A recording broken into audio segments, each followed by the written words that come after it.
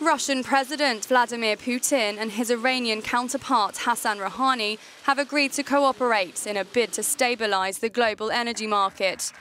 Russian gas producers Gazprom and National Iranian Oil signed an agreement to reduce their output. It came at the end of the Iranian leader's official two-day visit to Moscow, when Putin also announced investment in Iran's energy market. Leading Russian companies have achieved a series of important agreements about developing large oil and gas fields in Iran. We will coordinate our efforts to stabilize world oil markets.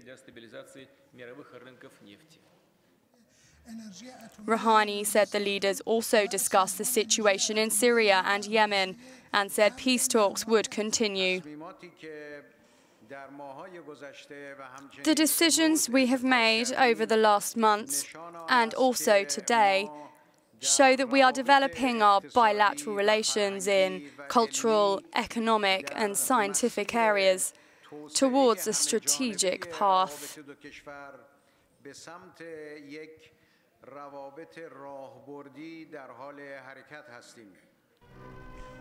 During his visit, the Iranian president took part in a wreath-laying ceremony at the tomb of the unknown soldier in Moscow.